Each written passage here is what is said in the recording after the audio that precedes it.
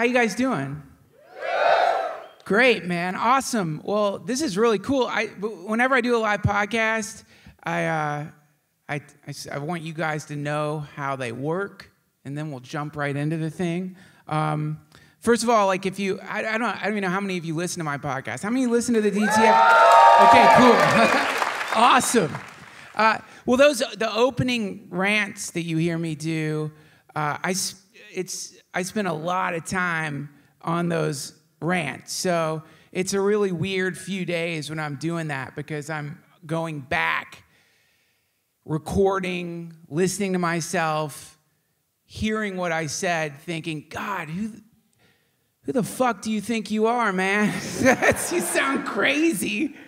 Then going back and re recording and re recording and re recording and re recording and re recording, trying various combinations of coffee and marijuana and mushrooms until something comes out that seems okay. And sometimes it doesn't happen. Sometimes it's just, I just put it up and I think, oh, well, I hope they forgive me for that one. So, what I do in the live shows, because I think what's cool about a podcast is that it is a um, collaboration uh, compared to other forms of entertainment. It's a collaboration not just between me and the guests, but between me and uh, the listeners.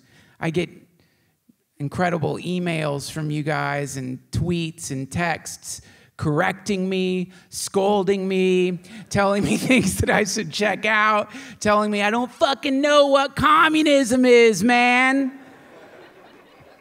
and I listen, and, and, and it helps me evolve a little bit. So for these live shows, I, I like to get suggestions from you guys about things we could talk about for the opening rant. So, what do you guys want to talk about? First, somebody said not floating. Had enough? Yeah, how long you been here for one fucking day, man? What you? Wait, wait, you're the wrong conference. God damn these fucking float conferences.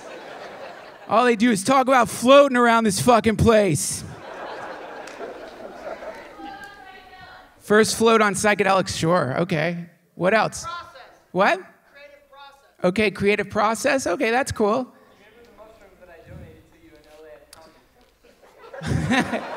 he asked if I ate the mushrooms that he gave to me at the comedy store. No, I didn't, officer. I'm drug free.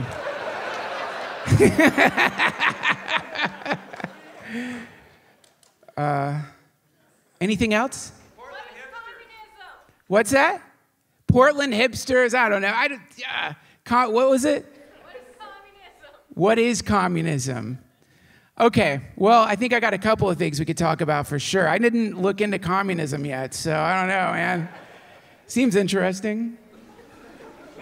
So, the other thing I like to do to start these shows off is uh, to get everybody to om together.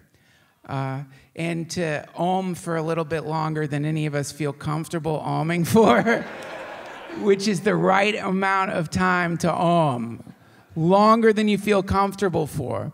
And it's really cool because a lot of us have never experienced congregational oming and what that sounds like and how powerful it can be.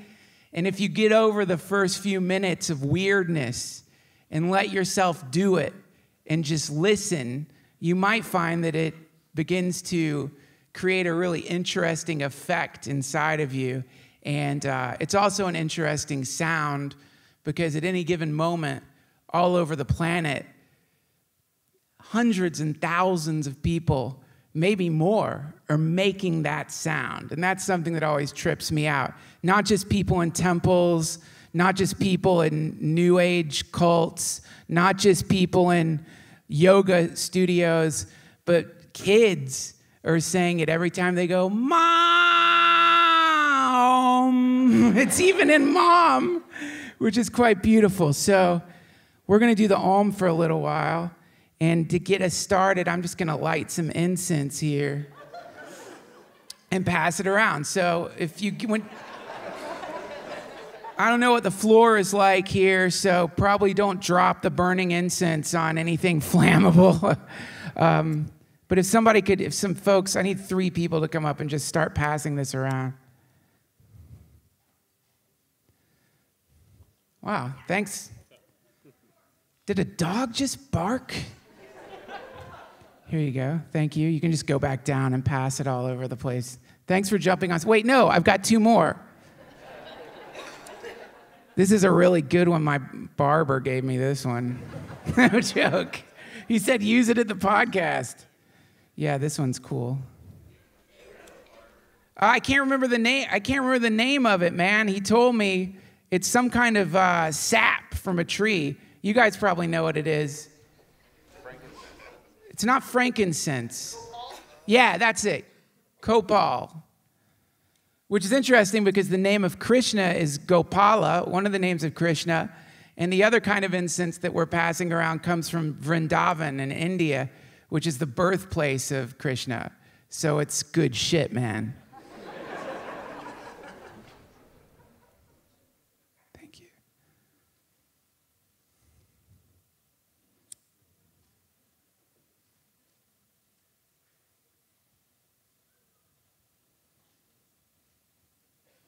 There we go. All right, yeah, let's do it now. Oh.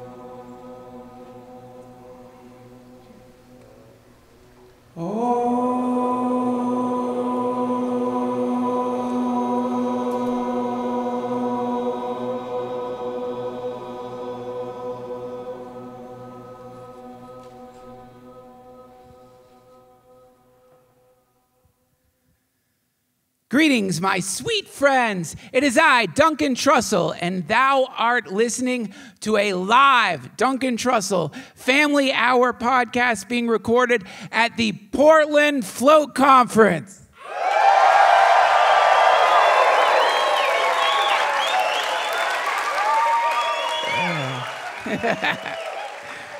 cool.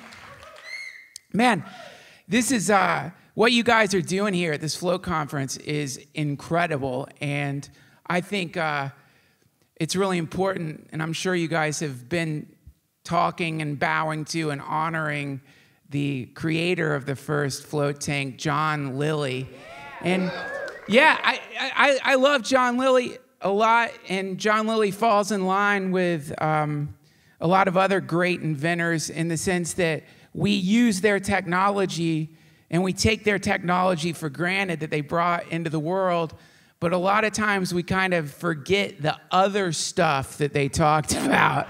And John Lilly's a prime example of that. There's some other ones too. Nikola Tesla, for example, is another example of a genius.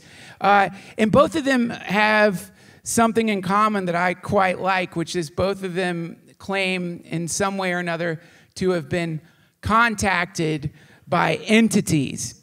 And what I like about John Lilly and Nikola Tesla is they weren't afraid to use that word entity. They weren't afraid to talk about what was happening to them inside those. Uh, he wasn't afraid to talk about what was happening to him when he was taking psychedelics and floating. How many of you guys know that story about what happened to him in the tank? Clap if you know that story about. We, um, we live in a time now where some of the smartest people on earth, Elon Musk being one of them, are talking about the dangers of artificial intelligence. How recently, with the uh, scary shit that's going on with North Korea, Elon Musk said that we shouldn't be worried about North Korea, but we should instead be thinking about artificial intelligence because it's a thousand times more dangerous than nuclear war. This is Elon Musk. This is one of the smartest people on planet Earth saying this. And what's really interesting about him saying that is that in 1974, John Lilly made contact with some kind of malevolent entity that he called a machine intelligence. He called it solid, what do you call it? Solid state intelligence. What's the name of it? Solid state intelligence. Uh, uh, some kind of entity that was going to manifest as technology and was going to use human beings to appear on the planet and take over.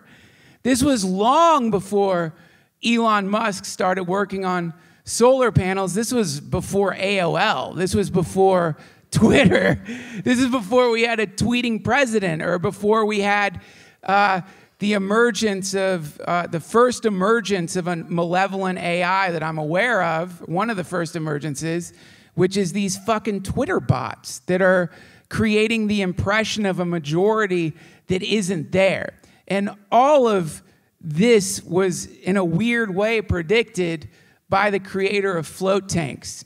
And it's amazing to really think about that because I know a lot of people, they say, oh, you know, Lilly later on down the line, he was like shooting too much ketamine and he lost his mind.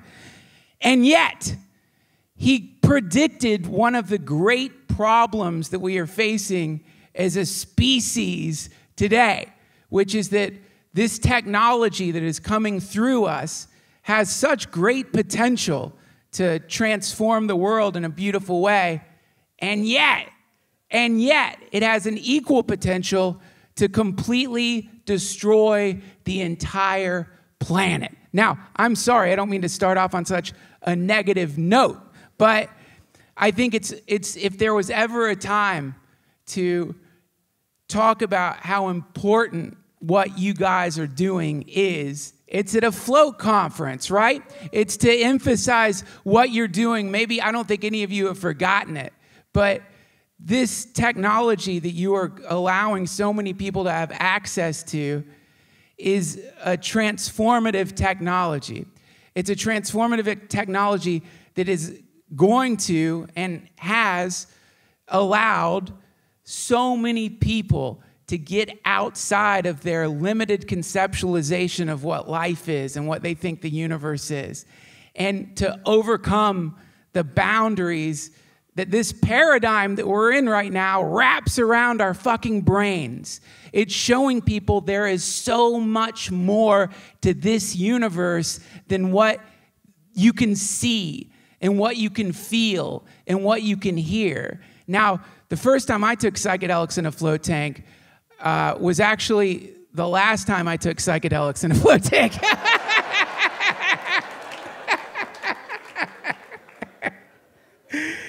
and I, I, uh, I, had this wonderful, for a while, I had this wonderful uh, Zen tent uh, created by um, Shane Stott, a beautiful uh, a beautiful thing, man. And uh, I had it in my house. He came and helped me set it up.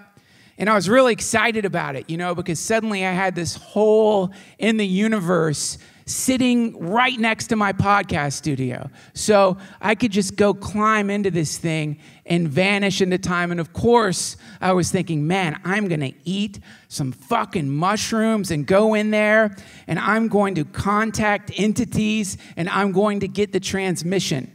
So I did it, ate some mushrooms, just joking, cop. I didn't really do that. For those of you listening, there's a police officer in the audience disguised as a hippie. I could see right through you, man. So I ate these mushrooms, went into the float tank, floating in the tank, and it was beautiful for a second.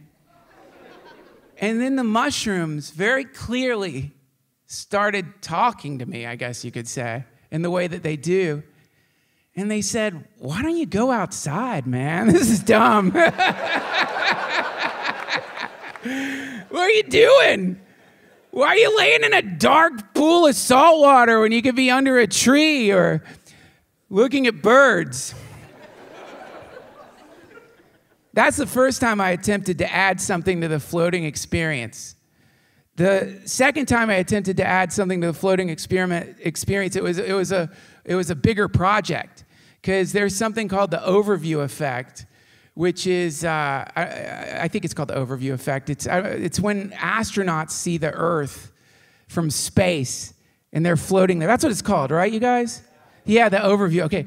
The, so it's, uh, it's this profound moment where you look down and you see the flat earth. And you're like, it was all a lie, man. They tricked me. yeah, it's this thing where you look and you see, you know, this beautiful planet that we're all living on and how precious it is and it's an intelligence and it's a it's a it's a divine intelligence and it is a it is the mother and we're all part of it. And it's our responsibility to make sure that, that, that this planet is kept kept alive and beautiful and all these poor fucking animals that can't do anything to stop the industrialists and all the pain and so you see it all you see it all and you love it and it like changes you forever so i thought shit well probably not going to go into space in this incarnation but maybe i can create the overview effect by putting on virtual reality goggles in a float tank that sh- where i was looking down on planet earth so we and anyone here who wants to try that, do it. Go for it. Try it. It's all yours. Maybe you can make it work. But what happened is so we get we spent a lot of time with this man. We built a we built a simulation of floating in space. We like waterproofed uh, some VR goggles, strapped them on, very excited, went in the tank, floated there. And then, like, within a few seconds, the fucking thing fogged up, and it's like, and it's heavy, you know, you got this heavy thing strapped to your head. And you know, I'm not afraid to say it. If John Lilly can talk about entities, then I can say that float tanks, they talk. They'll talk to you, they have a conversation with you. And the float tank said to me, What are you doing, man? Take that fucking thing off your head. it didn't say fucking, but it was like, This isn't, you're trying to add something. You're trying to add something. Uh, and that's what humans do, you know. We want to add, we want to add something to, to something that maybe doesn't need anything added on to it. Because when you're floating and finally you get to experience darkness, which is such a precious thing. And I think that the when people first we're talking about these beautiful devices. They, we're calling them isolation tanks or sensory deprivation chambers. And I think that's an indication of how absolutely crazy our society is. To say that if we take away light and if we float in this beautiful body temperature water, that somehow we're depriving our senses. When the float tank shows us this is all you need, nothing. This is all you need. In this darkness is everything. In this darkness is the earth, is planet earth, is the overview effect, is the overview effect not of the planet, but of everything, because it's, it's what we all are. And so it's a healing technology that you guys are offering people when you bring them into the tank for the first time. And it's a transformative technology. And I think the reason so many of you, when I've gotten to talk to you, seem so fucking cool is because, as all transformative technologies, people who work with them are also transformed. This is something really hilarious. If you look up uh, on the DEA website about LSD, you know what I'm talking about, man. One of the fascinating things I read about it, and it was kind of like a frustrated note about, about LSD distribution chains, is that an LSD distribution chain, uh, when pe- it breaks down, because as people begin to sell LSD, they're taking LSD. And the more you take LSD, the more you're like, why am I selling this, man? I should give it away. and so the thing melts down on itself, you know, because the technology that is LSD, it begins to transform the people who are, uh, who are utilizing it and giving it to other people. And I think it, the float tank, um, float, floating is the same way. And the more that you guys heal people in this way, the more you have to, I would, I would suggest, you should be open to the possibility that John Lilly didn't do too much ketamine, that John Lilly was tuning into something very, very real, which is that we live on a, in a living universe, and that this living universe has the desire right now to transform us and to transform us in a way that we aren't machines that we don't turn into robots, that we don't turn into Twitter bots, that we don't turn into people who only say what we think we're supposed to say and only parrot what other people tell us is the right thing to say. And I think that the more you open yourself up to that, the more you'll be transformed. And podcasting is a transformative technology. And, and, and when I first started podcasting, I was a very different person. Over the course of all these conversations, my life has shifted significantly. And, uh, and, and that's what happens, I think, when you're doing something with the, even the slightest intention of helping the world at all. So, uh, today's guest, who's here with us today, uh, is someone who is is, is one of the people that has radically, just from knowing him, has radically shifted my life, has transformed the way I think about a lot of things, uh, including, including sex, and he's my, especially sex. but a lot of other things too. Uh, and I think he's being transformed by his podcast. Uh, in such a way that, uh, and that's what we're going to talk about today, is uh, how, how he's transformed over the course of doing his podcast. And, and, and what he's up to right now is pretty incredible because he's gone off the grid. And um, so I'd really love you guys to give a giant round of applause uh, to our guest today. He is the author, the co author of uh, an amazing book that you may have heard of called Sex at Dawn. He has an amazing podcast called Tangentially Speaking. Everybody, please open up your heart chakras and send out as much loving energy as you possibly can to today's guest, Chris Ryan.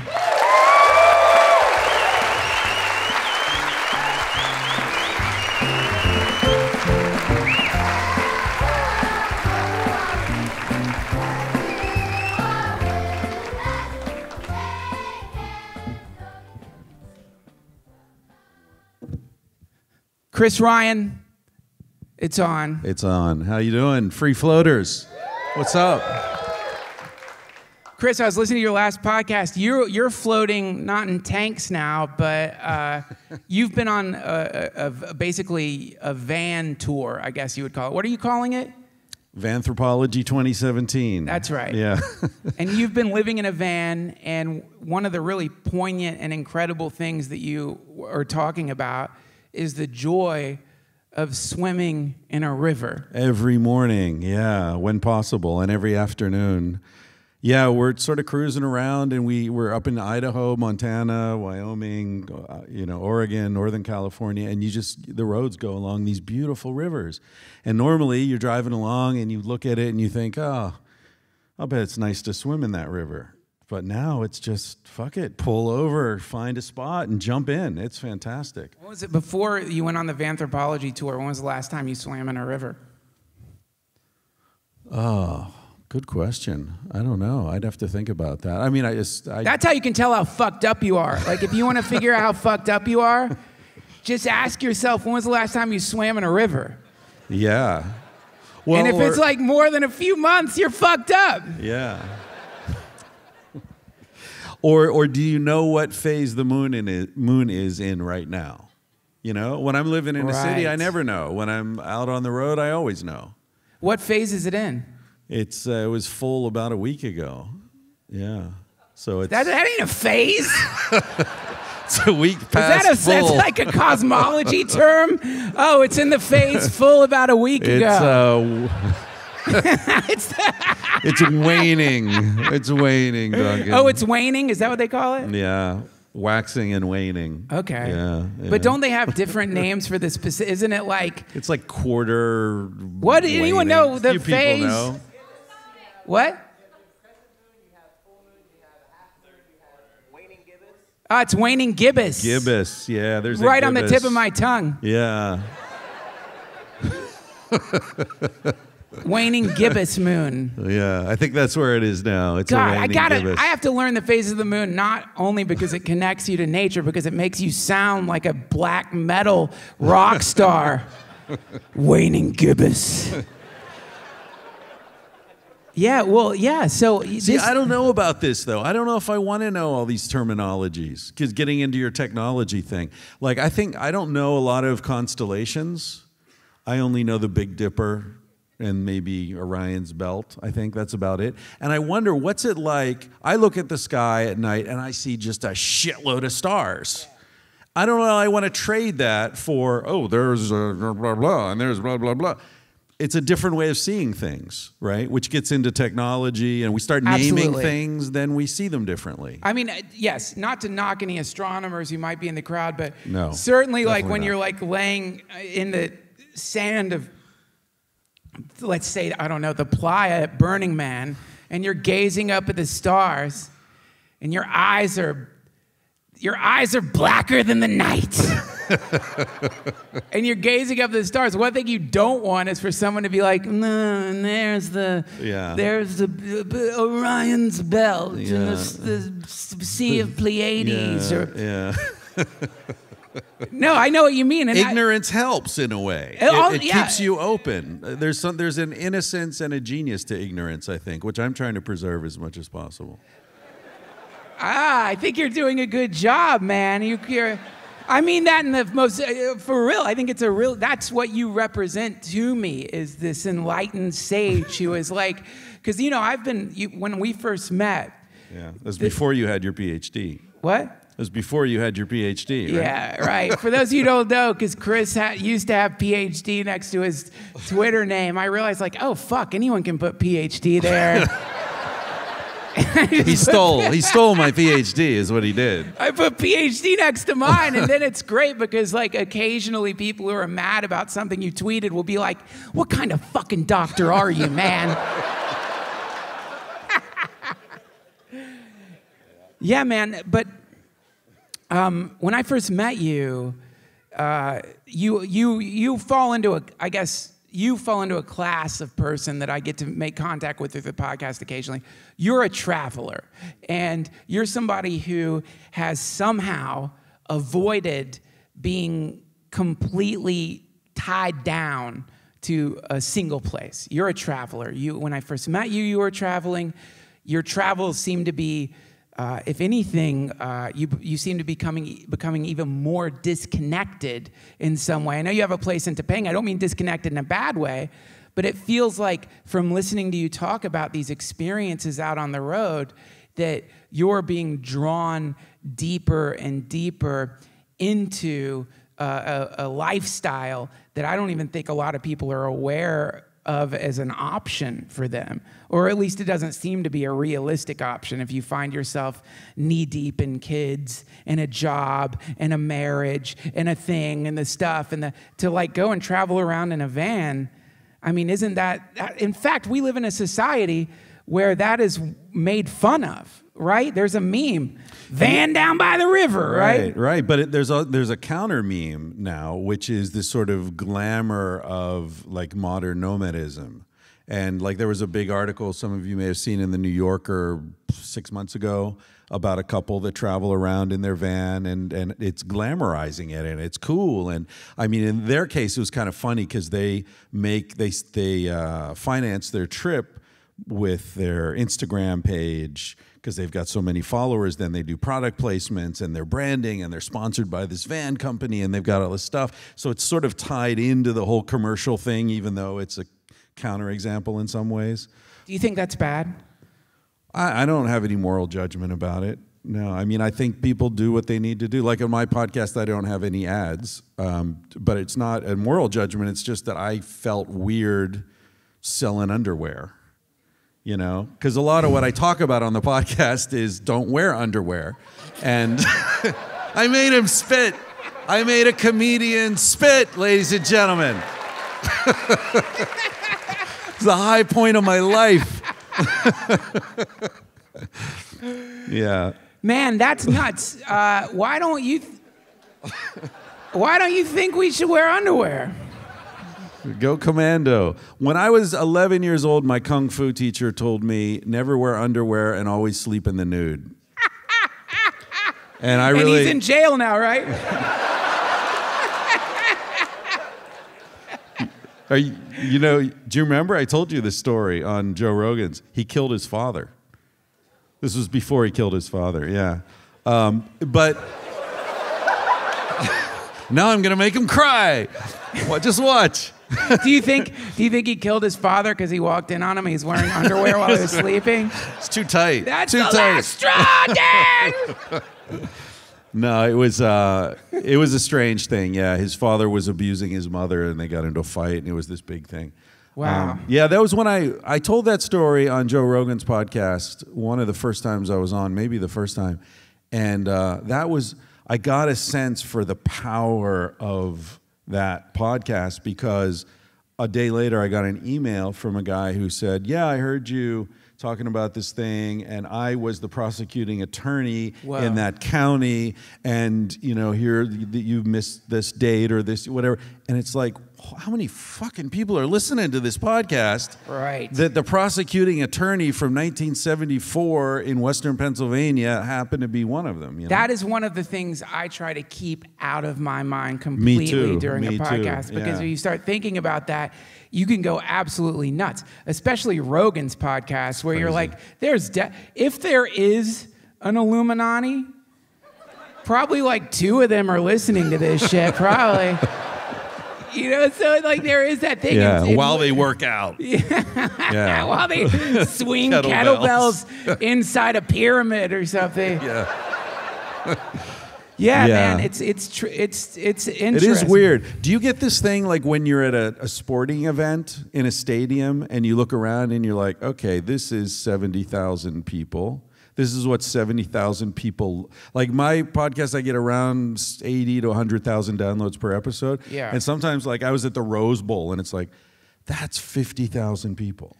Yeah, you know what I try to do? I always refer to the uh, there's a, a verse from the Bhagavad Gita, which is you have a right to your action. You do not have a right to the fruits of your action. So it's like with a podcast, if you get caught up in that, which I, I know what you're saying, and sometimes I have thought that, then you could, what'll happen is you'll start changing Yeah. what you're talking about on Yeah, the you podcast. can't do that. You start Yeah. getting super concerned because of this imaginary number. Who fucking knows what the number is? It really doesn't matter. Like the the the the we, we have to only stay in the moment, you know? Well, that's the beauty of it because on one side there's this huge, like, crazy abstraction, but I mean, I did your podcast. First time I ever did a podcast. first time I ever heard of a podcast was Duncan reached out to me and invited me to be on his podcast, and I was like, "What the fuck's a podcast?" And who the fuck is Duncan? And uh, but I was living in Spain and I was going to be in LA visiting my parents, and so I agreed to do it. And I thought, okay, I'm going to some studio because Sex at Dawn had come out a year earlier or something. I was doing a lot of media or whatever, and I went to the address expecting it to be a studio, and it was Duncan's house. And I walked in, and there were two chairs and a table and uh, some mics set up. And Duncan said, "You want to get high? No, no thanks. You want some mushrooms? No, no thanks. You want a beer? All right, I'll have a beer." And uh, and then it's like, okay, push the button. We talked, and that was it. And then we went out and had dinner. That's right. Yeah, it was amazing. And I was like, that that's a podcast. Wow. Yeah, I love It's it, man. so it's, simple. Well, it's humanizing, right? I mean, that's the, that's the idea. Is I think we, you know, hopefully, we're there. There was a time when people didn't have access to this technology, and and that was the time where people developed these like famous personalities and like these insane ideas of there being some kind of wall between them and everybody else based on uh, their being famous or something like that. And it, it's really gross. Some people are still like that. Like some people are all fucking puffed up and they think that there is some difference between them and other people. And I think what one of the beautiful things about podcasting is it's allowed a, a, a, a venue for us to like to be human. You know, like my favorite comedian is uh, Doug Stanhope. Sure. And uh, the reason he's I love him so much is because he's an exorcist because he's completely honest. And when you go and see him, he's purely bellowing out exactly who he is. Yeah. And and the thing that he is on paper, you might not be like that's the healthiest thing to be. it's like, you know, but it but because of his pure honesty and his incredible talent and how fucking funny he is, you realize like that is the thing to be. This is something that Ram Dass talks about that I love a lot, which is that we have to honor our incarnation. Have you ever heard that before? No. So it's like the idea is you start getting into spirituality or, and or you know whatever spirituality, mindfulness, consciousness, whatever they call it, and you start thinking. I was just talking to someone. Maybe he's here. Last night I was talking to him, and he was telling me how he'd gone on a hike. I don't know exactly which mountain he'd gone to the top of here, and he was looking out and it was just beautiful. It was just spellbindingly beautiful, and he felt so good. And then within a few sentences, he's like, "Yeah, but you know, I got to start meditating, man." it's like you are medit. That is it. Like the you, we always have this idea of who we should be if we were good, right?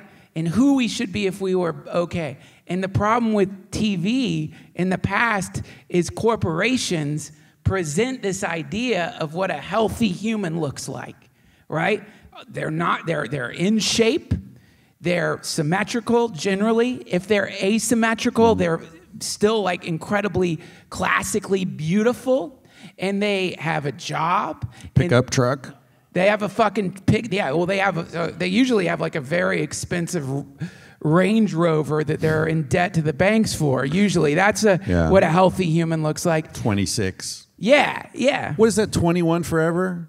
Is that what that shop is called? Forever 21. Fuck that shop. 21. Forever 21. Are you fucking kidding me?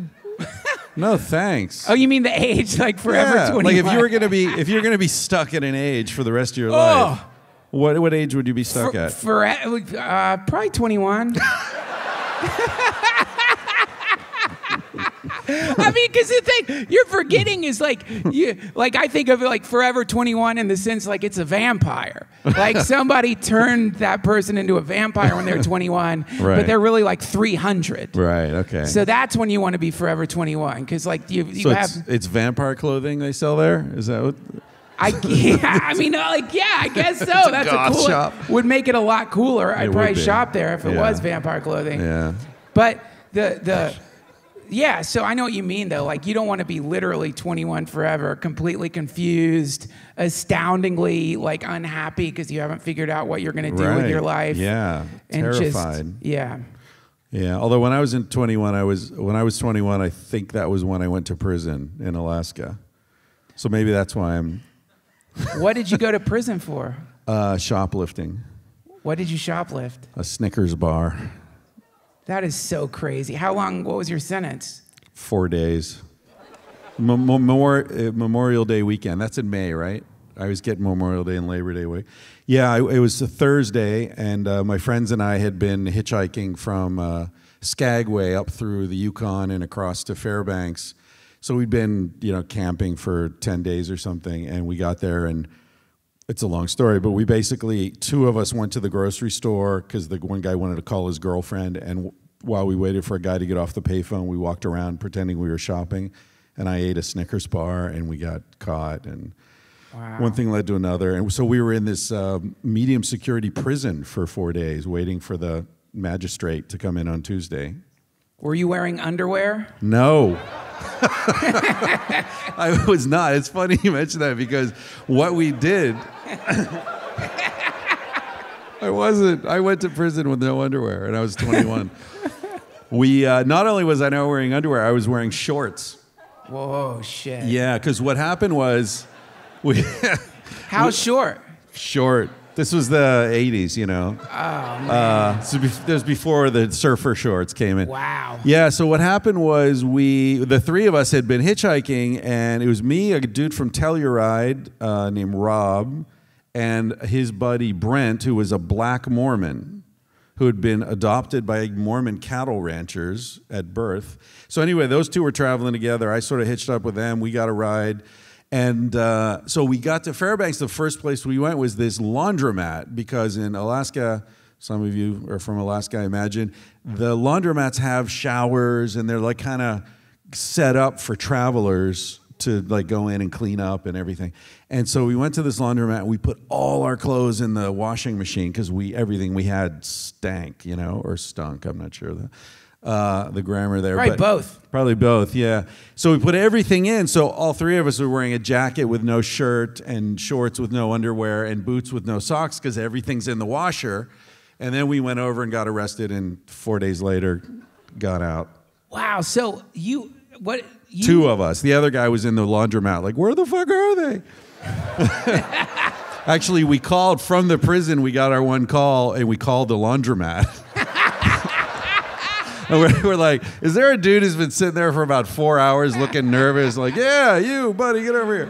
Wow. Like, where the fuck are you guys? We're in prison, man. Did, did, did you run into trouble in prison? Anybody Um, fuck with you? What happened was when they did the intake, the dude who did the intake looked at the report, and it, and my buddy Rob from Telluride had drunk uh, uh, kefir, this liquid yogurt shit, which I'd never even heard of.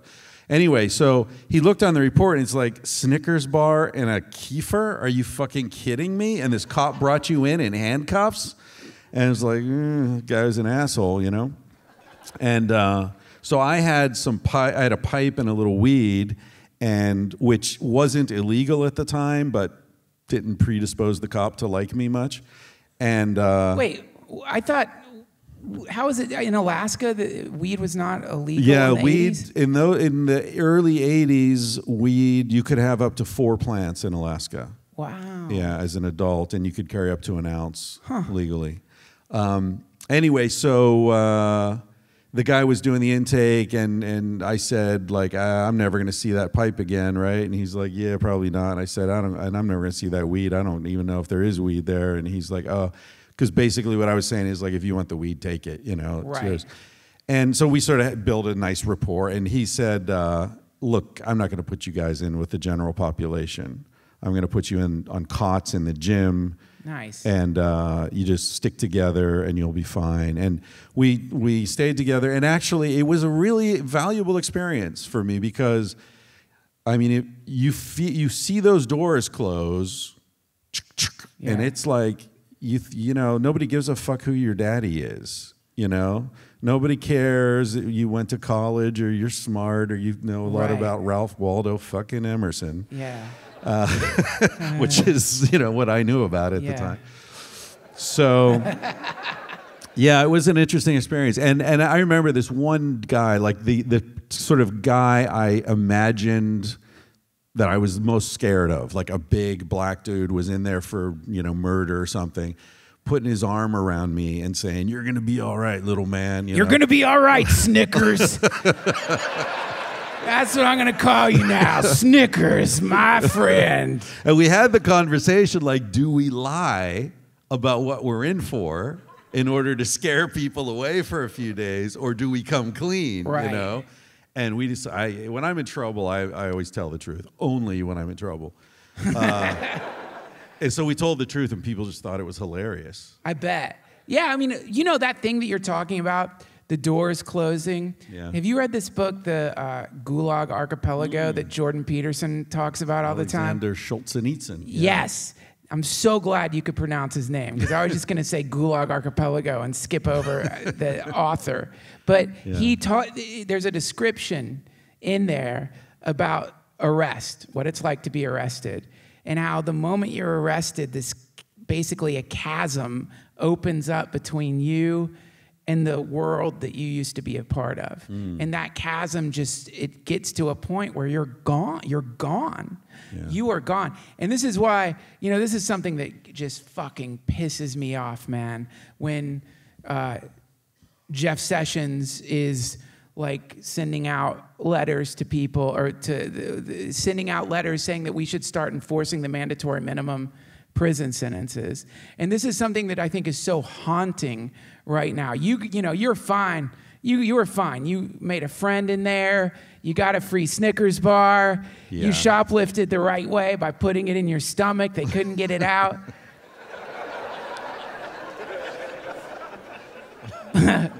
But one of the haunting things that like really gets to me and is is how all of us is uh, are kind of programmed to ignore the fact that our prisons are filled up with people some of them who did just take a snickers bar m- many of them who just had some mushrooms or you know i know someone who a few years ago got busted with mushrooms.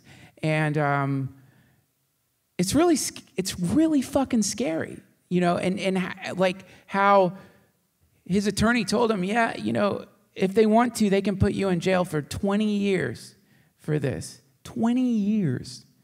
Think about that. The next time you're like joking about it or talking about it on the phone with people or whatever. Really think about that. Man i'm being a bummer. Fucking watch out. You know, seriously, because it, you know, it's it, this is the thing that like really gets to me. Because as a society we ignore the fact that our prisons are filled up with all of these sweet Snickers. There's so many Snickers right now, so, so many people in there right now who did nothing at all.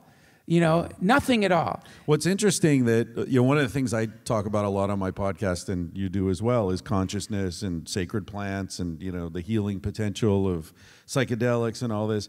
And it's so interesting that uh, every culture that's ever had access to these substances has seen them as the greatest gift of the gods. The greatest thing that the gods have bestowed upon humanity was this peyote or these mushrooms, or, or in Africa, this dance and, that helps you enter a trance, right? The musical forms in Africa. And here we are in this weird aberration, the one society where you go to prison for longer for having uh, a significant quantity of hallucinogens than if you had killed someone. Right. Minimum mandatory sentences for second degree murder are less than they are for like a pound of mushrooms. It's what does that say? What do you think? Every society saying this is great, except there's one society that says we'll put you in a cage for the rest of your life. To me, what that says is those societies value truth.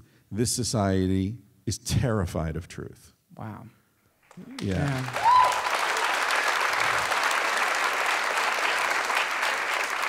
But let's talk about floating. You know what I saw the first time I floated? Hold on, wait. We're not gonna fucking talk about floating. He didn't want to. He's a cop. Fuck Wait. that guy. Hold on. We'll get to we'll get to floating. Right. But before we dive into that, I want to talk about um, I want to talk about this idea of truth. If you're saying that this our society doesn't want us to contact this truth, what is that truth? Like what it's what is it telling us? What is the message that we're getting from mushrooms, from LSD, from ayahuasca. What is the message that we're getting that this society that we're in right now doesn't want us to have? Well, I, I think you know you can look at an intermediary level and say it's about uh, valuing the integrity of nature over an open pit mine. It's about valuing relationships and sensuality over ambition and acquisition of you know material things, those sorts of things. I mean, there are a lot of examples of that, right? Um, you know, love over possession, you know, all these kinds of things. But I think on a more profound level, what those substances have shown me, and I think show a lot of people, is the deepest truth is that there are many truths. And so doubt is sort of the only thing you should really ever be certain of. And that the, the culture's values, that the, that the culture is so insistent on instilling in you, you start to question them. So I think it's, it's not that, that these substances or physical travel, which I consider to be very similar to, to you know, tripping, that's why I, guess we call it tripping, Right. is it shows you what uh, Joseph Campbell, the mythologist, called detribalization, where you recognize that you're part of a tribe and then it's like, oh, wait, I'm in a tribe, so all the shit that I think is true is just what my tribe says. I just speak that language. Mm. So then you get out and you start looking back from another place where you see multiple truths and multiple worlds. And, and then you're in a whole different way of thinking, so that when your government says, you know, pledge allegiance, motherfucker, you're like, to what? Right. You know, go go fight in this war. For whom? Right. Yeah. So I think it's critical thinking is basically what these substances instill in a strange way. And this idea is so, an idea I think about quite a bit because the implication of, of what you're saying is that there is a conspiracy that is so dark is so dark that it would you could almost just as a form of laziness call it luciferianism. Not to insult lucifer. Actually i don't want to probably isn't luciferianism because lucifer was a rebel angel. But it's like this this idea is so incredibly dark. And this is where you know i i think that there's a lot of walls that have been built inside of us. A lot of walls that we're not supposed to cross uh, if we are c- going to be productive members of American society. Right. And one of the walls is this wall that you're talking about because the question is who fucking built this wall? Who built this wall between us and these substances? You know, who is it? Is it Jeff Sessions? Is there, and I, I would love to know your thoughts on this. Do you think there's an organized cobble of people who are like, we can't let them take mushrooms or they'll realize that we're lizards? Do you? I mean, it's, do you think Maybe that? not lizards, maybe assholes. You know? Okay, so, right. Yeah, lizards are cool. Like, you know, I think I don't mean to diss lizards or Lucifer here, man, but who, who, who who's behind it, man? I mean, Well, it's like a right. real problem. Who's behind it? Who's engineered it? I, I again, I think there are different levels. So, so you can look at it if you want to look at it as a conspiracy. I think there's plenty of evidence for that. So, you look at Harry Anslinger, for example, who was the head of uh, the division of the government that was responsible for um, enforcing the laws in prohibition against alcohol distribution. So then, the whatever amendment it was that made alcohol legal again was passed and then he was like oh shit now this whole division of the government's going to be liquidated. I'm going to lose a job. Everyone's going to lose their job. We need to find something else to prohibit. Right. so what's it going to be? Well blacks and mexicans are using this marijuana stuff so let's drum up a lot of hysteria against that so we won't lose our jobs. So that's the origins of the anti marijuana crusade in the United States. It was all about the flow of money and keeping the money moving. Then you have the example in the Nixon administration where I think it was H.R. Haldeman who was recently interviewed about this, who some of you might remember was uh, in the cabinet. I don't remember what his position was. But he said, um, talking about the drug laws, the, the draconian Nixon war on drugs thing, primarily against hallucinogens and marijuana, uh, he said, we knew that uh, psychedelics and marijuana weren't health hazards, but we needed to isolate and neutralize the people who were protesting the Vietnam War, which was mostly the hippies, and the people who were uh, agitating in the cities, which was the blacks. And those are drugs that those people were using, so we made them illegal so we could throw them in prison, investigate them, wipe them out. He said this in an interview. I don't remember. I mean, look it up online. Yeah, it's what you're talking everywhere. You know what I'm talking about? It was like in Vanity Fair or something Yeah. recently. And uh, so, you know, there it is. It's like they know, everyone, anyone who looked at marijuana with any seriousness knew damn well it wasn't dangerous. But we're many presidents away from Nixon, and they're still enforcing these insane laws. So They're enforcing it against black people, against poor people. See, this is the thing. Like, Right. I mean, I don't know about your friend who got busted with the mushrooms, and it's true that a lot of people at dead shows were getting busted, and there's a lot Yeah. of bullshit around that.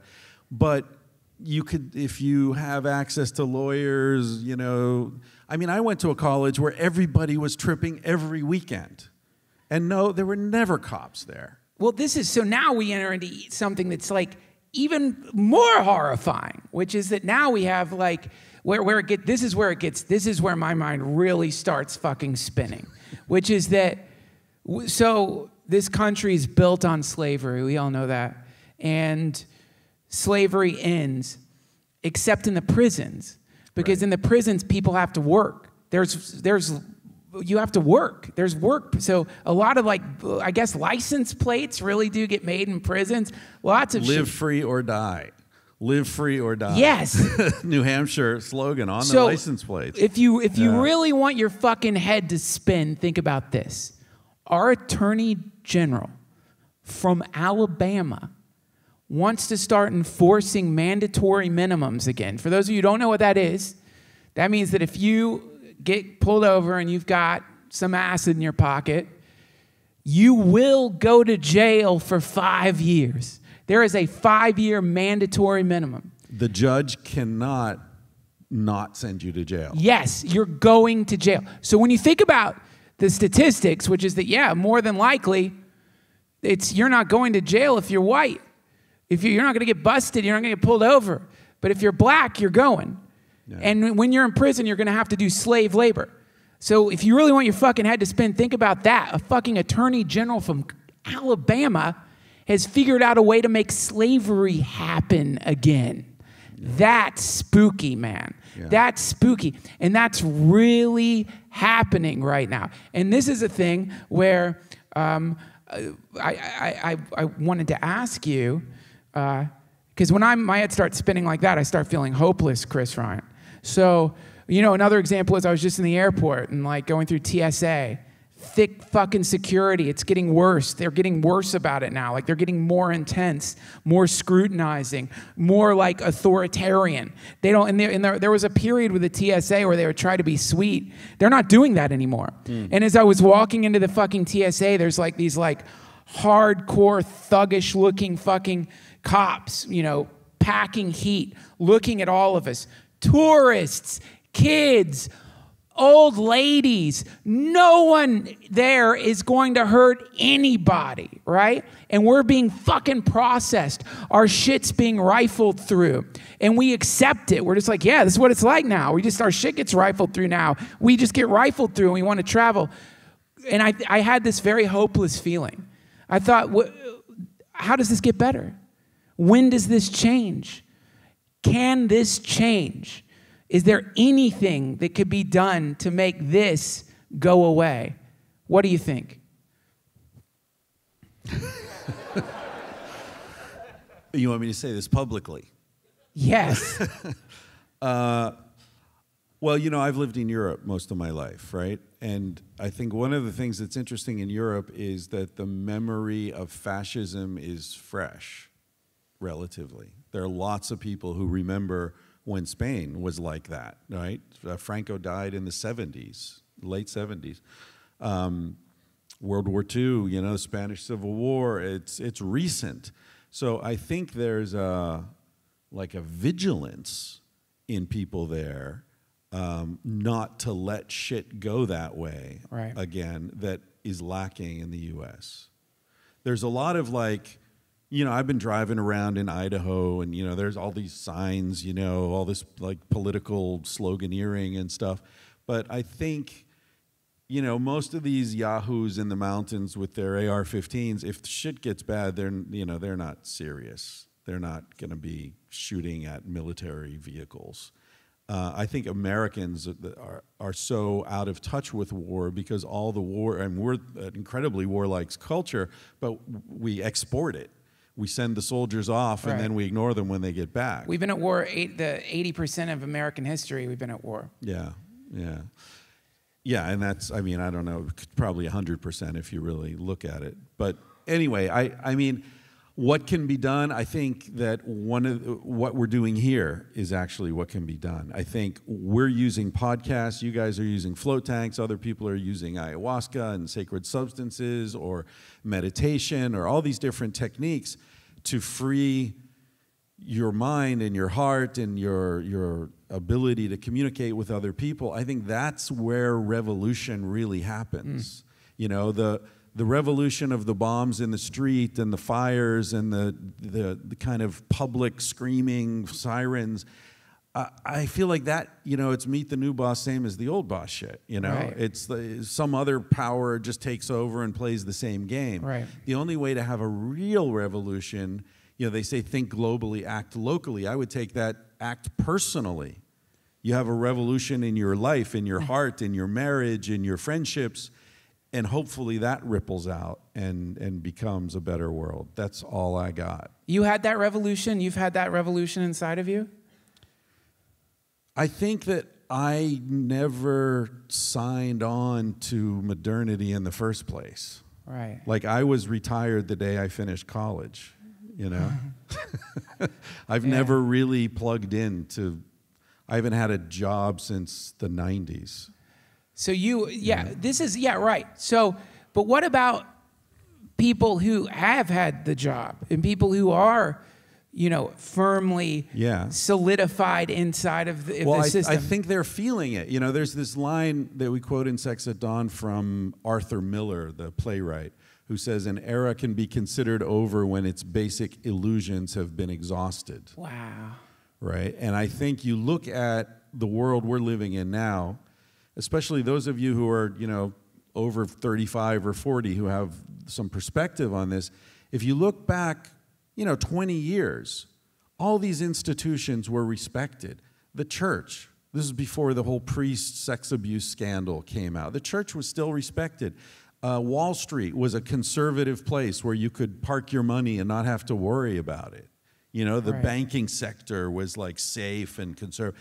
Yeah. Uh, you know, take uh, whatever uh, sports. You The know, president, the, the politics. Yeah, of course, that's the worst of it. remember that? The president used to be like, that was like a respected position. Yeah. anyway, all these institutions are just collapsing. Yeah. And so I think that a lot of people are saying this doesn't fucking work anymore, right? People are saying, "Oh, I'm going to have less money than my parents." Well, when did that wh- when did that turn? Right. It used to be it was getting better and better. Now Yeah. nobody thinks it's getting better and better, you know? The climate change and whatever. So there I think a lot of people, I think we're at this really exciting, heartbreaking, mm-hmm. fascinating moment where where a lot of people are looking for alternatives. And I think that explains why podcasts are taking off because you know the technology's there, but the beauty of it is you do a podcast, you click a few buttons, it goes out to however many thousands of people are listening to it. There's no company in between. Right. There's no studio executive. There's no money man. Right. There's no, it's just you talking to whomever's Yeah. listening. And so there's a level of truth and authenticity that can happen there that I think is fucking revolutionary. I think it's as revolutionary as the printing press. Right.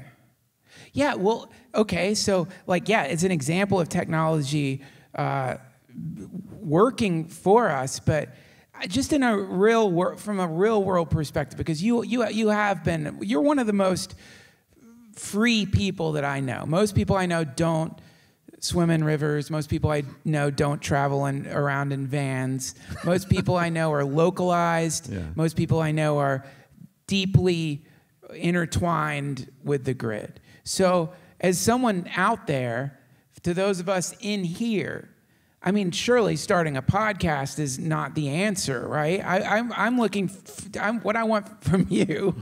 I want the fucking answer, Ryan. I want you to help us, man. I want you to help us. Like, what, what, what can we do? What are some real things we can do to experience this kind of revolution that you're talking about that happens inside first? What can we do, those of us who haven't had that revolution? What are some tricks, some tips, some ways that maybe we can end up floating down, floating naked down a river? Stop not wearing underwear and fucking. How can we start shoplifting Snickers? Uh, yeah. See, I don't.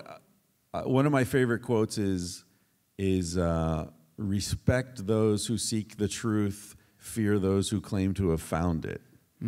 So I don't claim to have found any truth, and and so I'm very hesitant to, you know, give people advice. Um, this, you know, people I don't know, especially. But my feeling is, uh, my friend Aaron and I were talking about this the other day. There are there are things that you do in life that you become accustomed to really quickly, and there are other things you do in life that you'll never get accustomed to.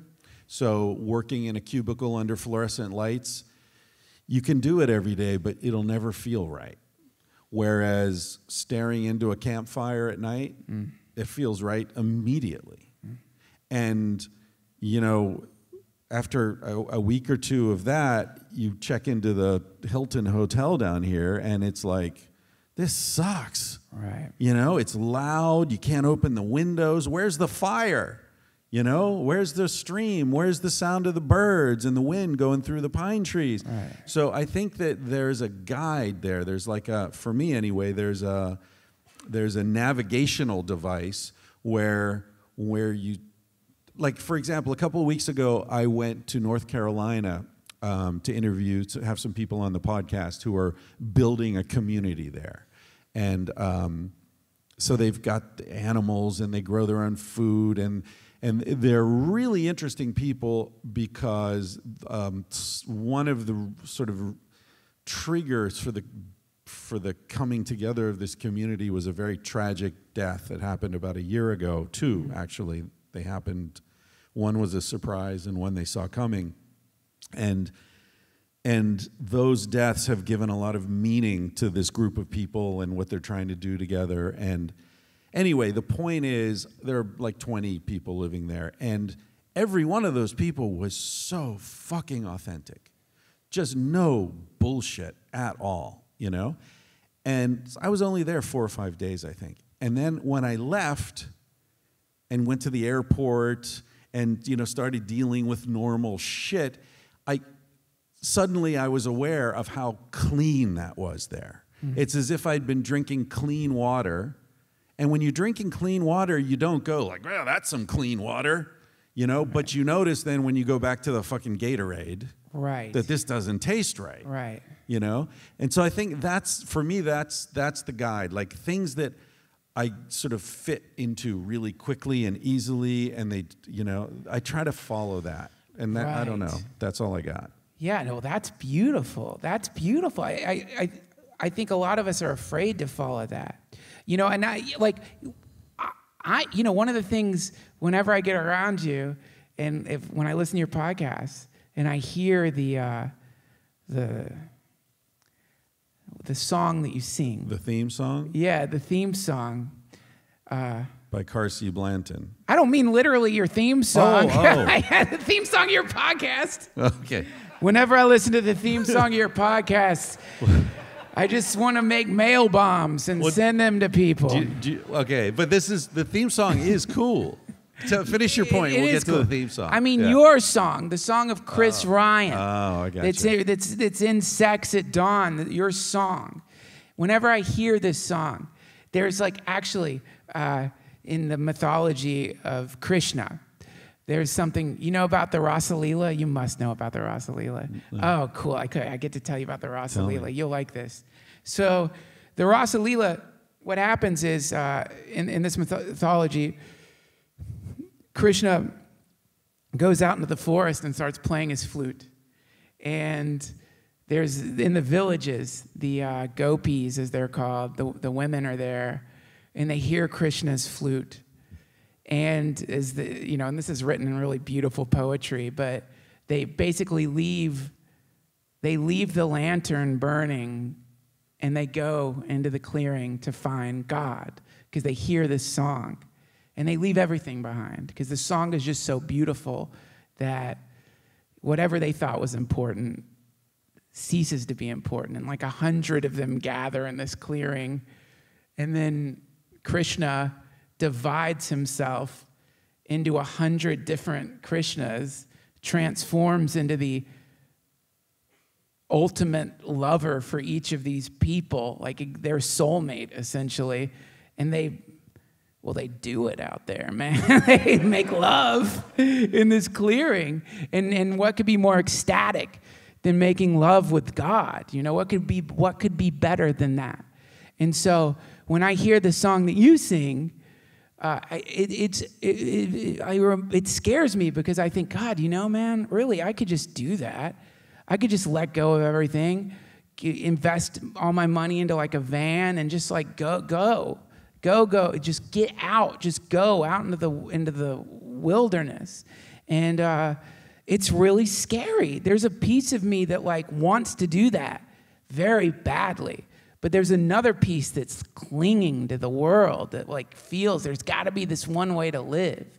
And but if all of us start doing what you're doing, what would society look like if everybody heads out? If everyone listens to you and they're like, you know what, this is fucking stupid.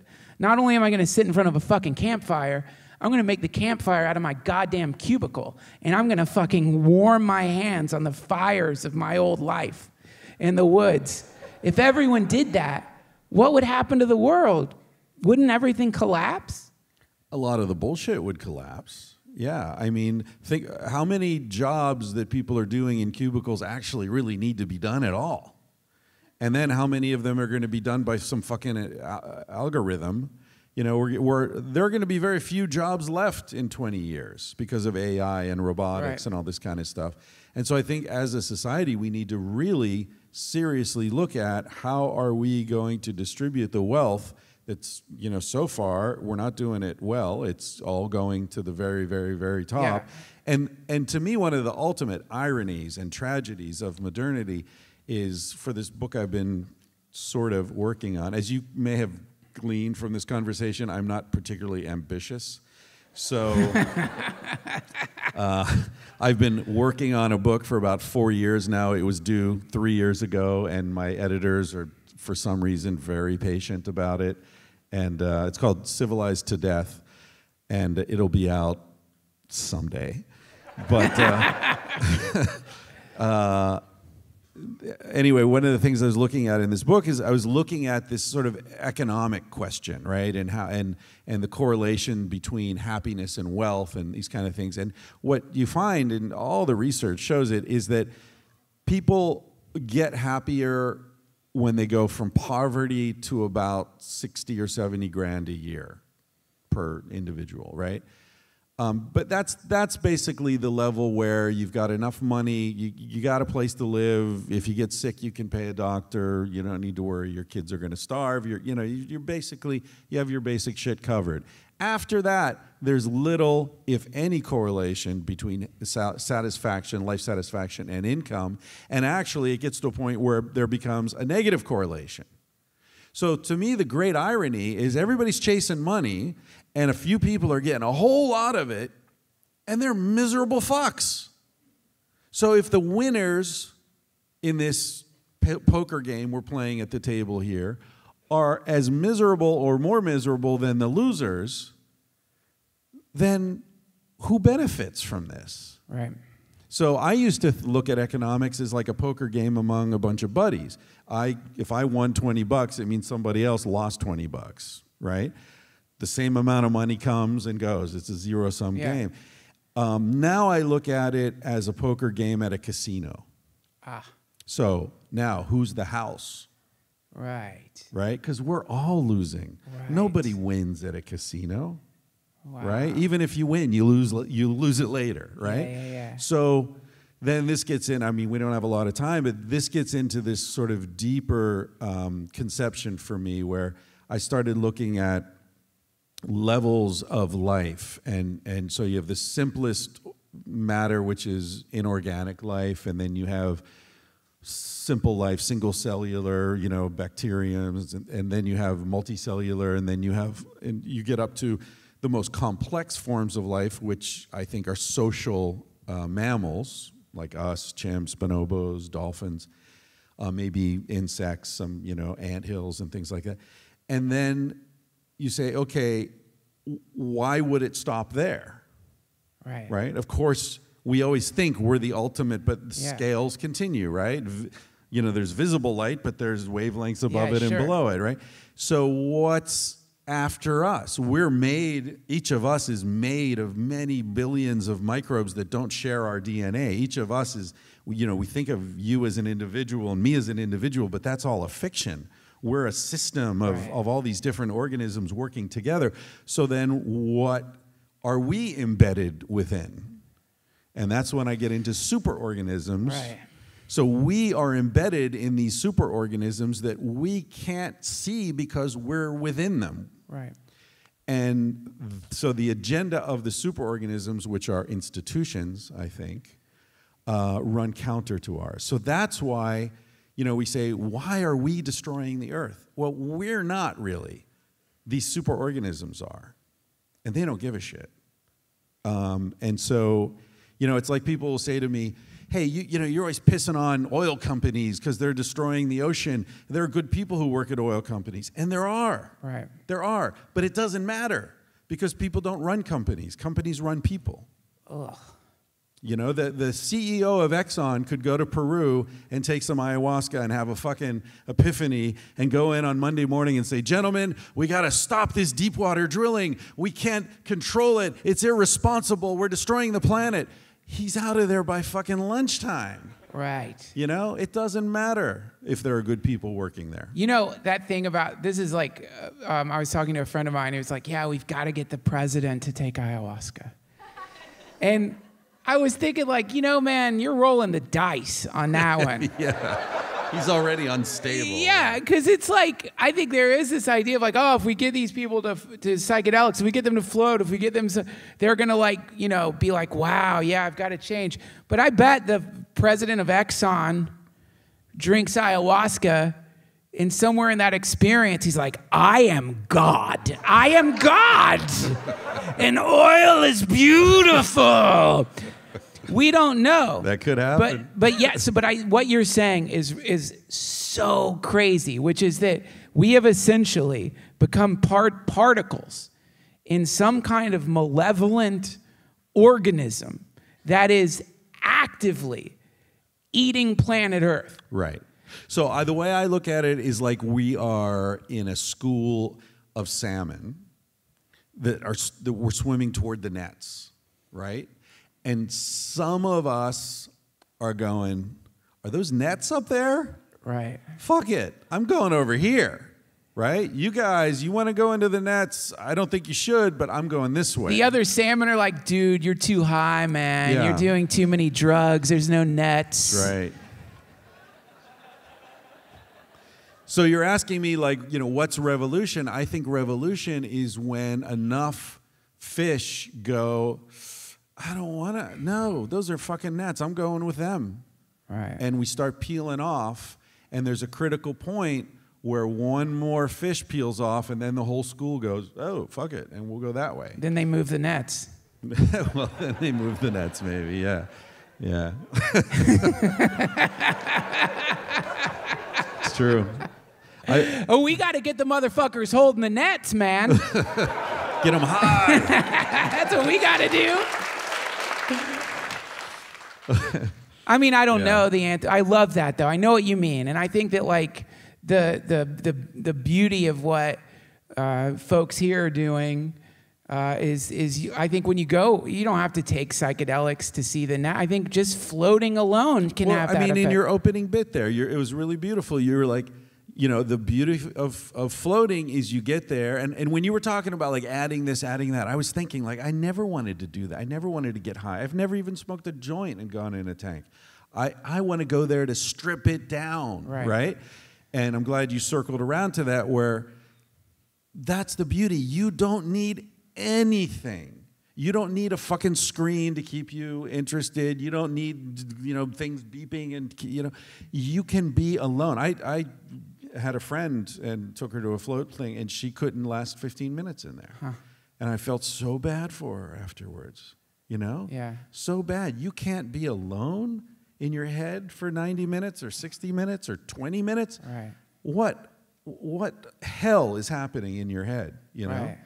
So yeah, I think I think stripping it down to the basics. I mean, the theme song on my podcast is by this beautiful woman, Carsie Blanton, uh, and the song is called "Smoke Alarm."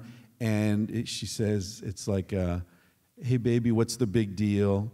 Say what you're gonna say, feel what you're gonna feel, because you're gonna die one day."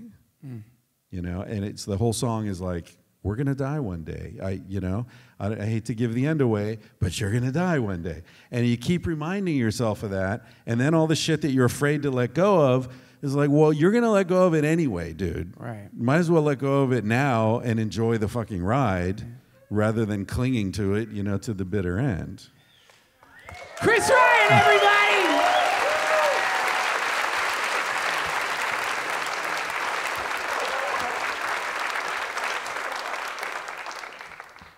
Guys, uh, we, we have about uh, 20 minutes left, and we've got two microphones here. Uh, this is one of my favorite parts of the podcast. I forgot to mention it up front. Uh, any of you guys who have questions for Chris or for me, I'd love it if you would come up to the microphones. We, we only have 20 minutes to, to take questions. So, anybody who wants to ask a question, feel free to come up here and ask. Oh, the cop is the first one. So, as, as a cop who's been in the force undercover for a long time, and I'm not trying to blow my cover, um, um, do you think that Donald Trump could possibly be the catalyst or the kickback for, you know, um, what we've experienced as maybe the solution to open people's eyes up to ideology, um, different ideologues and whatnot? Because it's started to kind of, I feel like it's opened people's eyes and broken up a lot of um, biases that were formed on sociodynamic. I, I, I hope so. I, I think that could definitely be one of the possible outcomes of this. You know, they say addicts have to hit rock bottom before they start to recover, and if this isn't rock bottom, I don't want to see it. You know, uh, yeah, I, I hope so. I'm not a political theorist, so I can't say for sure, but it certainly seems, you know, as Duncan pointed out, the presidency is uh, one of those institutions that's lost its. Uh, uh, what's the word I'm looking for? It's uh, Well, it's like my dad says, you, sh- we must respect the office of the president. Yeah. Right? But, but what if the president doesn't respect the office of the president, which is the case? Right. Yeah. Yeah, I don't know. I think you're, I think he is. I think there is something in him that is divine for sure. He seems to be a, you know, a reflection of our shadow. You know, a reality, a billionaire reality TV star is the president now, and like, I mean, let's face it. If you were running a simulation and you wanted to create the funniest apocalypse, it does seem artistic to be like, all right, they fucking like money and TV. All right, let's make their fucking president be a Frankenstein monster composed of everything that they have uh, become addicted to. And let's see what happens. That's one level. The other level is making the president a catalyst. I always think of Ram Dass and how he has on his puja table a picture of the president. And uh, no matter who that president may be, he tries to find compassion there. Because what a fucking heavy incarnation, man. Heavy, heavy incarnation. To be that stuck in that place where you're casually, casually suggesting that you might incinerate a country with nuclear fire. Yeah. Yeah. So it's like, if you think about that, how that, I mean, like, I'm just think of the worst thing you ever did when you were super drunk, you know? And you wake up in the morning and you're like, oh, fuck. Oh, no. I've got to call like seven people and apologize. think of Trump's morning when he comes off of the bender that he's on and he wakes up and it's like, oh, fuck, I'm president. Oh, shit. Oh, wow. I fucking caused the apocalypse. That's a heavy incarnation. So maybe we can find a place to have some compassion for him or something. And that could be the transformative thing. What do you got? Is that it? No more questions. That's it. No one wants to talk to us. Wow. Everyone's depressed. Sorry, we bummed you out. What's There's your one- this question? guy over here. So yeah, tell us about your your best float experience individually. Okay. Yes. Yeah, that's that's cool. I uh, the first time I floated, I don't know that it was my best, but I, you know I don't judge them that way. But the first time, I, I think it might have been in Austin, Texas, at Kevin Johnson's place. Any of you been down there? Beautiful place. Um, it was I was lying there and I've tried meditating for years. I've been to the 10 day Vipassana retreat. I've done, you know, martial arts with an incorporated meditation and I've never gotten past the my fucking back hurts stage. you know, uh, my knees hurt, my back hurts, my hips hurt, my neck hurts. Uh, and I mean, the 10 day Vipassana thing was like a 10 day porn festival in my head. I just, that, that's all I did. I just sat there and imagined. Uh, and uh, it, it didn't work, you know? Unless that's Nirvana, which it may be. But uh, the first time I floated, I I felt like something clicked in and I got into this meditative state. I got into the thing where it's like, oh, there's my mind working. Now I observe it, it slows down, it stops, and then whatever I am that's observing it starts to disappear, and then I wake up, but I wasn't asleep. And it's like, wow, that's where I've been trying to get for years and years. And I just got there in 15 minutes. And in part of that process of that sort of watching this weird shit that was happening in my mind, I saw this image of Joe Rogan's face with a halo and that big shit eating grin he's got just float right across like the dome of my brain. And I thought, that's pretty funny. Dude, that wasn't in your head. Kevin has a projector in the tanks. like, he, like Joe Rogan's face floats across. Saint Joe. Ah, Yeah. shit. cool, man. I, I, uh, my, my best float experience was like kind of my most pain, painful. It wasn't, it wasn't like euphoric. It was, uh, this was when I had a float tank in my house. I was doing it a lot. And, uh, I was starting to have like, uh, it was dislodging memories. And um, I was starting to have these memories that were long gone. I had this uh, memory, a photographic memory of this, like, me and my brother, as a kid, I was a kid, but me and my brother were like leaving this summer. We were staying with my dad. I mean, this is a horrible story I'm about to tell you, but uh, uh, I guess there was a little girl there who liked me. I was just a kid, and she came up to the car and uh, and was like, I said something like, "I love you." Ugh, I hate saying this. I, I said something like, "You- you- "Shut up, fatty." Like the worst fucking thing, man. And and like I was trying to impress my brother, and it was just horrible. And so the tank showed me in vivid detail that moment and the look on her face and the way that I felt and the look of my brother's look of disgust as he looked at me. And uh and it you know makes you realize like oh my god if that's down there, if I'm that much of an asshole and that that's compressed somewhere underneath my waking experience, how much other stuff is in there? You know, I just went to the dentist and, uh, you know, he, fl- he, floss, he, floss, he flosses you, and there's a lot of blood. And I'm like, is there a lot of blood? There's a lot of blood, right? He's like, yeah, you got to get scaling, dude, because there's like fucking shit in your gums, and it's gonna hurt. It's gonna hurt. He said that. He's like, it's it's challenging. and I think for some people like me, that's the, what the float tank does. It's it gets into the gums of your psyche and gets in there deep. And sometimes there's fucking blood. And that's what it gave me. It gave me a moment to like really, really uh, think about my own potentially aggressive patterns in life that I'm not aware of and help me hopefully be a little kinder because that's all you can really do, you know? Because that little girl killed herself and her entire family, I found out.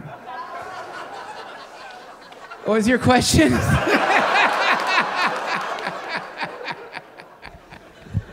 That's fantastic. I love that. Um, Thanks.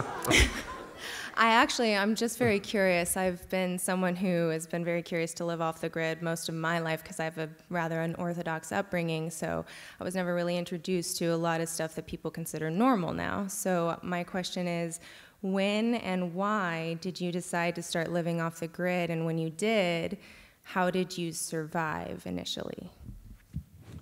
Well, first thing I should say is off the grid is probably an overstatement for how I've lived my life. I mean, I'm not like the Unabomber or anything.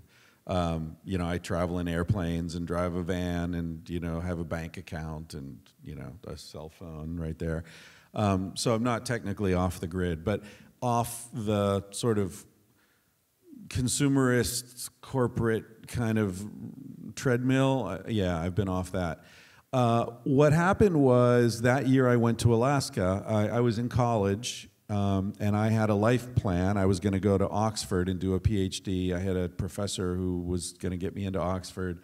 I was going to do a PhD and I was going to teach literature the rest of my life. And the literature that I really loved the most was the American Transcendentalists, who some of you will know Emerson, Thoreau, Whitman, Melville. And a lot of this stuff is sort of uh, like an indigenous American Buddhism in a way, if you read them. You know, Thoreau, of course, famously wrote uh, Walden, where he went off and lived in the woods for a year. So that's the stuff I loved, and that's the stuff that I was anticipating teaching for the rest of my life.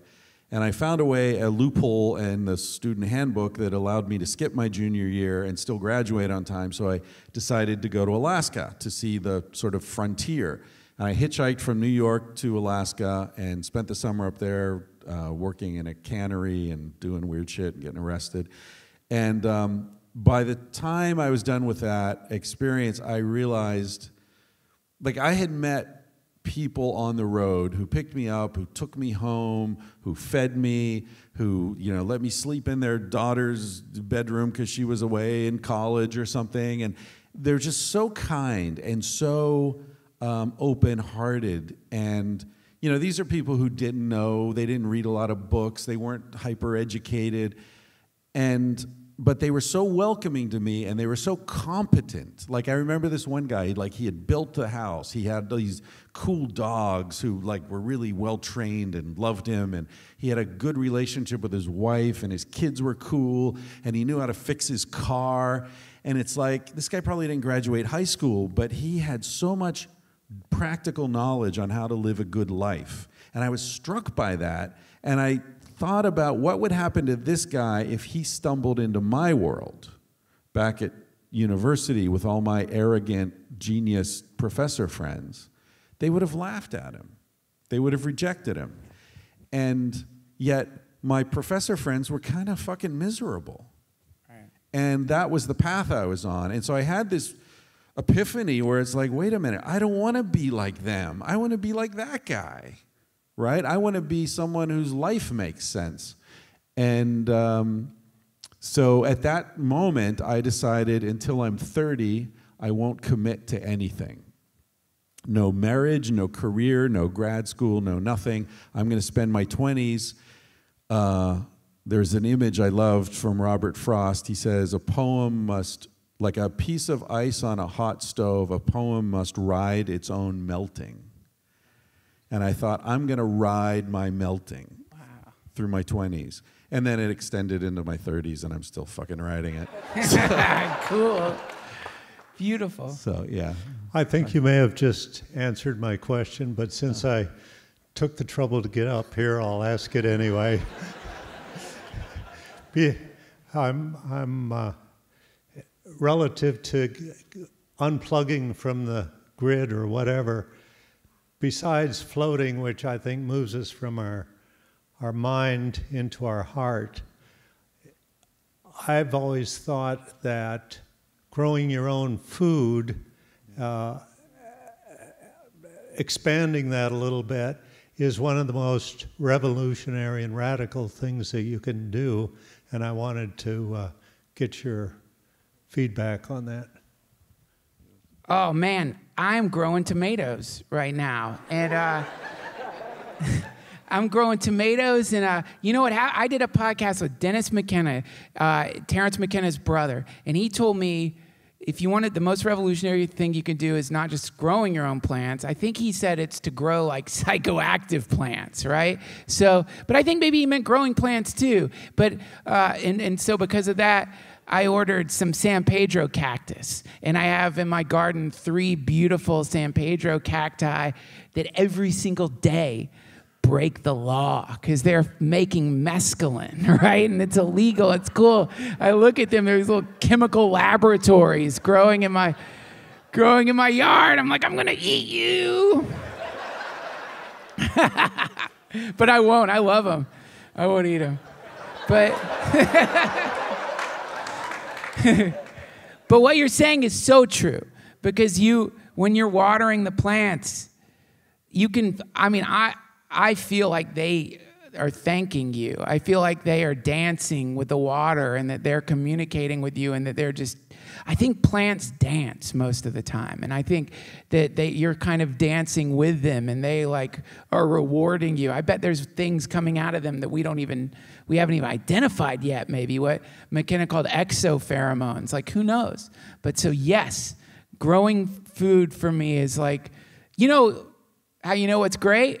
is the stuff you remember, right? Like, you know what you don't remember? Plane rides. You don't really remember plane rides in, unless they're like really, like, unless the plane crashed. You'll remember that one.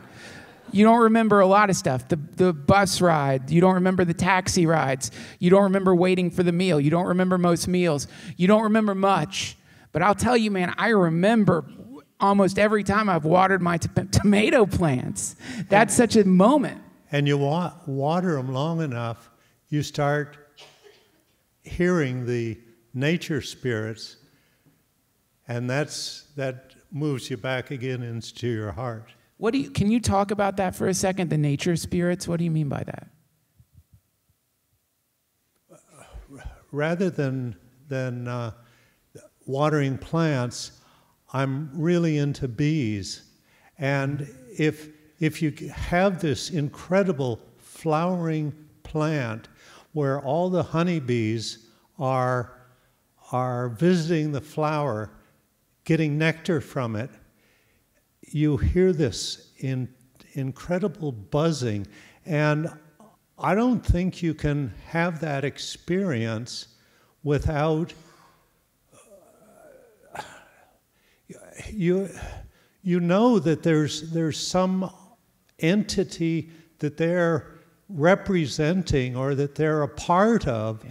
that makes your heart sing. Yeah. Yeah. Man, I love you.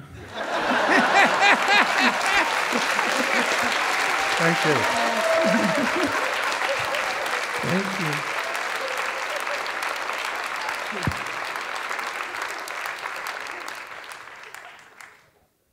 Uh, all of this makes a lot of sense. Nobody has the answers, but everybody wonders, and all of this is true. My life has changed after I found floating, which is January of 2017.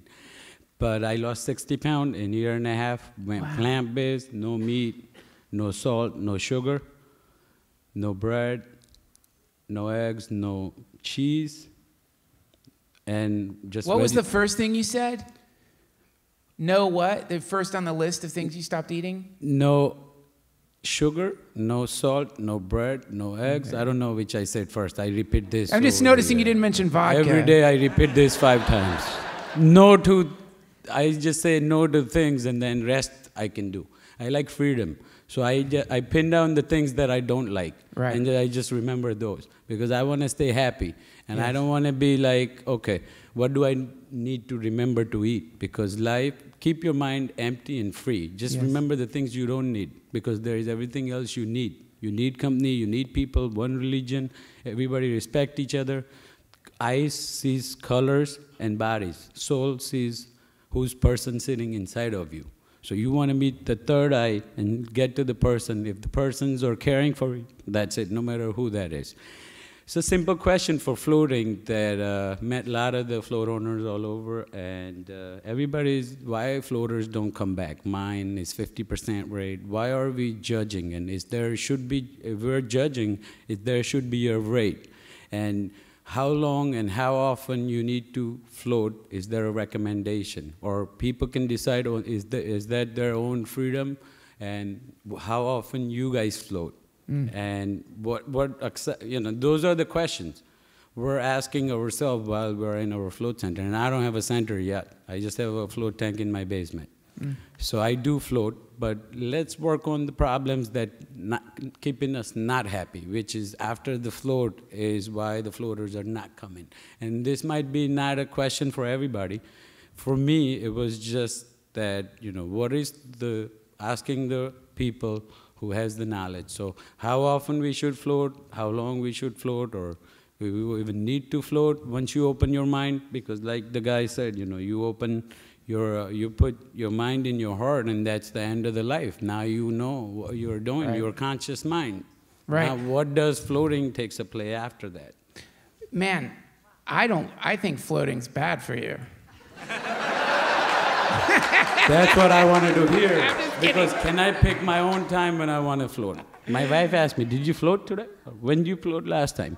So I float when I get, want to get in. That's the only reason I get the tank from in my basement because I get up one o'clock in the morning and float. In 15 minutes, if I'm tired, I'm out back in my bed. Right.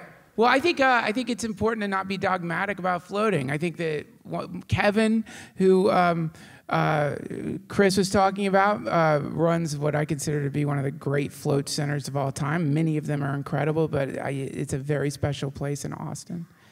Uh, what I love about the way he uh, he addresses it is that there isn't any dogma there. It's just come and do this thing and let it do its work, and that's it. And it's beautiful. So, because like you don't want to pressure somebody. It's like music. You you love a song. And you don't want to tell somebody this is the best song you ever heard, man. You got to listen to this song. How many times has someone tortured you in that way? Like, oh, I've heard this incredible song. I don't like the word tortured. Forget who's torturing me. Don't. The word torture should is not in my dictionary. Well, you never heard this song, man.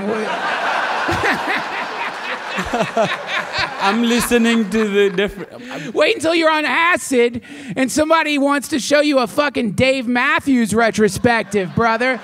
And you will know torture is the right word for that. When I when I hear things during the daytime, when somebody's if I feel like I'm being tortured, I just put this on. That's the reason I carry. Great. And I just stay happy throughout all day. Well, thank you so much. Thank you for the question. A round of applause for this gentleman, everyone. We have time for uh, one more question. Hi, thanks. Uh, thanks for coming, guys. It's a pleasure to see you in, in, uh, live in person. In the spirit of the Float Conference, and just out of curiosity, if you had to open a float center, what would you name it? And you've seen the different styles of tanks. Do you have one that you would choose over the other? Ooh, shit. Mm, mm. What? Shit got real. I mean, you go You're first. looking at two bad businessmen right here. Uh, you're asking the wrong people. you can answer that. What would you name a float center? Float free. Come on. Yeah, I, free. I like the, I like the idea that floating is freedom. You know, I like the idea of. But people are gonna think you're not charging. I know. That's why I'm such a bad businessman.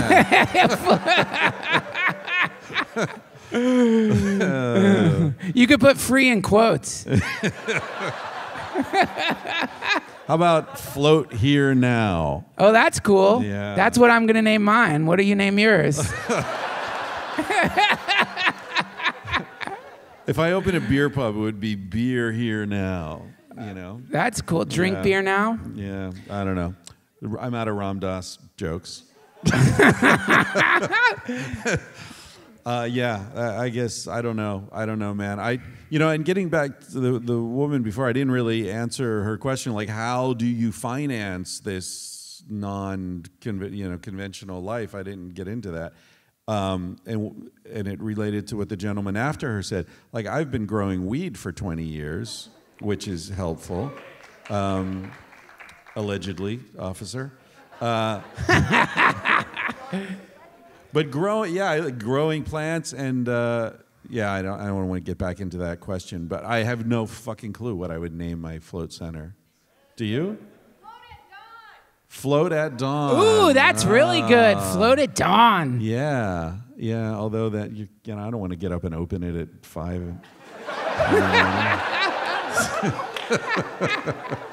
you know, the only thing I want to do at dawn is in that book. I don't know, man. I'd probably call it like King William's exclusive float palace. yeah, as far as like the float tank itself, man.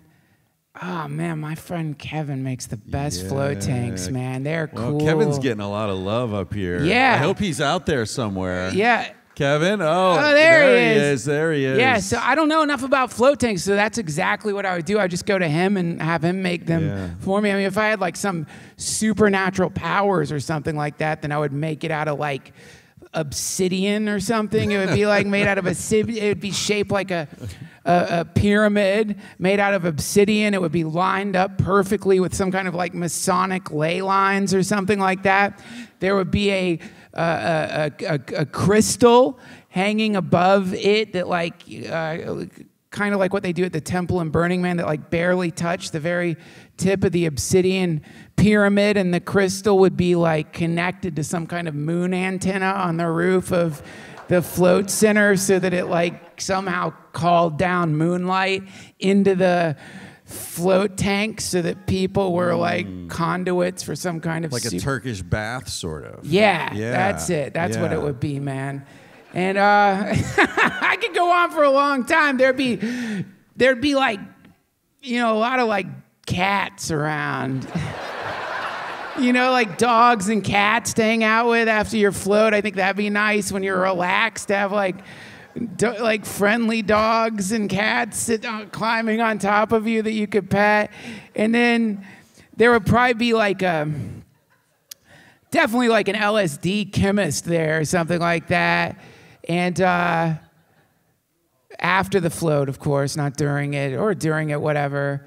And um, yeah, that would be it. That's my float center, and it'd be the greatest fucking float center of all time. That would be it. Thanks for the question. That's it. Friends, we are out of time. Thank you so much for hanging out with us tonight. A big round of applause for Chris Ryan, everybody.